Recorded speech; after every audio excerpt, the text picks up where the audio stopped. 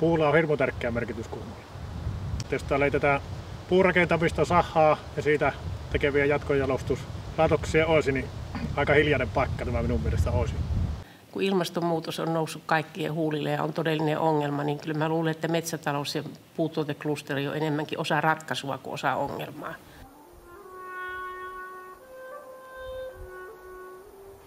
Tämä on tarina Kuhmon Tuupalan puukoulusta ja sen rakentamisesta. Koulua kutsutaan vihreäksi kouluksi, jonka rakentamisen raaka-aine tuli omista kuhmolaisista metsistä. Puukoulun rakentamisen taustalla oli kuntapäättäjien tahto saada hyödynnettyä omia luonnonvaroja, onhan Kuhmo yksi Kainuun suurimpia metsäpitäjiä. Tässä osassa kuulemme, miten suuri merkitys Tuupalan koulun toteuttamisena puurakenteisena oli Kuhmon kaupungille. Tosiaan tässä on nyt käynyt sillä tavalla, että on toista vuotias kuusi niin pötkähtänyt tähän ja tätähän pitää ruveta tässä nyt sitten karsimaan ja ottaa täältä metsästä pois. Oli tässä viime viikon loppuna tämmönen myrsky, tuntuu, että lähtee peltikatotkin, niin, niin se on sitten täältä puutakin näkyy notistanut kenttää. Mutta ei auta, se on vaan ryhdyttävä toimeen.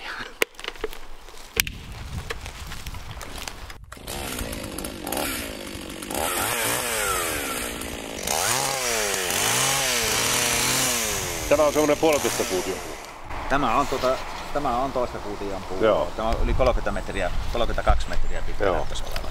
Joo. Että tästä lähtee jo aika, aika monta tukkia. Neljä? Niin, neljän tukin, neljän tukin kuusi. Joo. Siitä tulee sahatavaraa. Siitä tulee hyvää sahatavaraa tämmöisestä.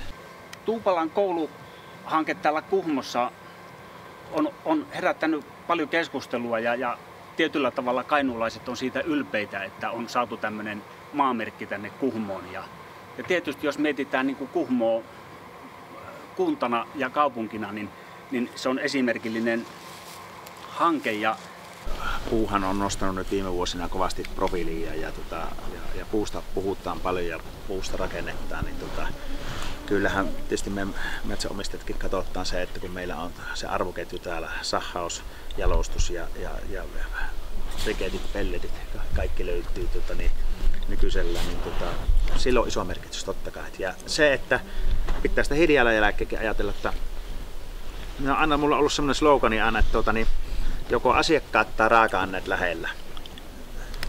Ainakin jommat kummat, mutta tietysti meillä, kun nyt on asiakkaitakin lähellä tässä ja se raaka-ainetta meillä riittää tällä Yllinkylli Kainuussa, niin tota, ja, ja hyvä, hyvää sahauskapasiteettia, niin tota, totta kai ne kannattaa mahdollisimman lähellä hyödyntää. Se kouluhanke on ollut, ollut myös esimerkillinen ja, ja, ja tukenut meidän pitkäjänteistä metsänhoitoa siitä, että, että se on saatu tämmöiseen pitkäaikaiseen hiilivarastoon se puu ja, ja myös muita positiivisia nä- näkökulmia mitä se on tuonut niin kuin aluetalouteen ja on käytetty paikallista materiaalia niin kuin oman koulun seinissä. Kyllä se on niin kuin ollut ylpeyden aihe ja on ylpeyden aihe kainulaisille metsänomistajille. Puulla on hirmu tärkeä merkitys Kuhmolle. Jos täällä leitetään puurakentamista, sahaa ja siitä tekeviä jatkojalostuslaitoksia olisi, niin aika hiljainen paikka tämä minun mielestä olisi. Ja Kuhmo on hirmu hyvä esimerkki siitä, että täällä on nyt tätä puu, puujalostusteollisuutta, sahat, crosslamit, joka tekee sitten tätä massiivilevyä, on ikkunatehasta, hirsitalotehasta, kaikki, että Kuhmo kyllä elää puusta. Suuri osa veromarkosta taittaa tulla tästä puutuoteklusterista meillä. Hirmu tärkeä merkitys kaupungille. Kuhmo on erittäin laaja pitäjä ja meillä on isot metsävarat.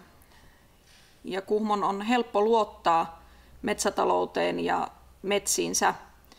Myös ehkä viitaten korona-aikaan, niin kun muu talous on ehkä niiannut, niin metsätaloudessa koronan vaikutukset eivät ole näkyneet voimakkaasti. Kuhmo on kansallinen metsäohjelma pienoiskoossa. Täällä on bioenergian tuotantoa, metsiä ja erittäin hyvin kehittynyt metsätalouden infrastruktuuri. Suomen suurimmat puunkorjuuyritykset ovat Kuhmossa. Ja kainuulaiset taas metsäomistajat ovat erinomaisia metsäomistajia. Täällä hoidetaan metsiä hyvin. Ja ajatus omasta puukoulusta on varmaan ollut ihmisten sydämissä jo hyvin pitkään. Rakentamisella niin kuin sitä sahamäärä, sahamäärää, mikä täällä tuotetaan, niin, niin ei saada kulumaan. Ja se sahamäärä, mikä täältä, sahatavaramäärä, mikä Kainuusta sahataan, niin, niin niillähän rakennettaisiin kyllä pitkälle kaikki Suomen rakennukset ja enemmänkin. Sieltä kuitenkin luo edellytykset tämän kerrostalon rakentamisen toteuttamiselle myöskin puisena, eli, eli sillä voidaan mennä helposti 10, 12, jopa, jopa 14 kerroksia, niin kuin yksi, yksi toteutus Suomessa on. Ja tuota, CLT-valmistus todellakin, kun tuommoista lukemista puhutaan, niin, niin tuota, on puu keskeistä ja, ja tuota, kerrostalo neliöitä, jos ajatellaan niitä asuinneliöitä, niin se menee jonnekin 0,4-0,5 kuutiometriä per kerroshuoneisto neliö. Et puhutaan kuitenkin valtavan pienistä asioista. Se ei niin kuin metsän käyttöön, sillä ei ole käytännössä mitään vaikutusta. Eli metsiä ei tarvitse hakata yhtään enemmän, vaikka tehtäisiin ne 30 prosenttia kerrostalosta puusta. Totta kai, siis mitä enemmän puuta hyödynnetään, niin sitä enemmän metsäurakoitsijoilla ja sahoilla on töitä. Ja se on hyvin yksinkertainen yhtälö minun mielestä, että ei, ei siinä ole mitään ihmeellistä. Ja mitä metsätalouteen on ylipäätänsä tulee, niin, tuota, niin Suomi on aina ratkaissut ongelmansa kestävien metsävarojen käytön kautta. Kun ilmastonmuutos on noussut kaikkien huulille ja on todellinen ongelma, niin kyllä mä luulen, että metsätalous ja puutuoteklusteri on enemmänkin osa ratkaisua kuin osa ongelmaa. Ja sitä kannattaa tuoda esille, koska asiasta liikkuu niin paljon väärää tietoa, että saa välillä nauraa mahansa kipeäksi. Meillä on sampo. Se on meidän kasvavat metsät. Kasvavat metsät, jotka tuottaa tälle maalle aineellista hyvinvointia, vaikkapa tämmöisen puukoulun muodossa. Se tuottaa meille niitä monipuolisia jalosteita, mitkä muuttuu vientieuroiksi, työpaikoiksi, verotuloiksi, hyvinvoinniksi. Se tuottaa meille mielen virkistystä, se tuottaa meille ympäristön, missä matkailuelinkeino voi kasvaa. Se tuottaa meille marjaa, sientä, monenlaisia riistaa, metsän antimia. Meillä on sampo ja me saamme nauttia sen antimista. Tuupalan kouluhanke ja, ja myös muutkin puurakennushankkeet me Kainuun maakunnassa ja muuallakin Suomessa niin edistää aivan varmasti tämmöistä kokonaiskäsitystä siitä metsänhoidosta ja, ja sen tasosta.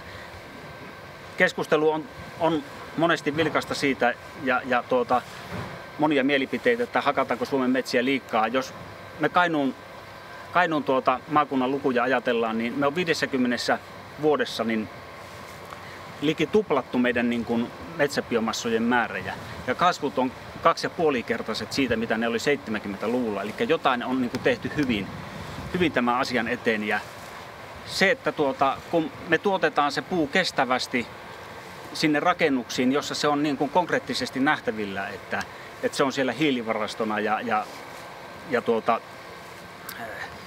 kestävästi tuotettuna, niin, niin olisinpa itse ainakin varma siitä, että sillä on positiivisia vaikutuksia myös siihen, että metsiä voidaan niin kuin käyttää ja hyödyntää sillä tasolla, millä niitä nykyisinkin käytetään. Joo.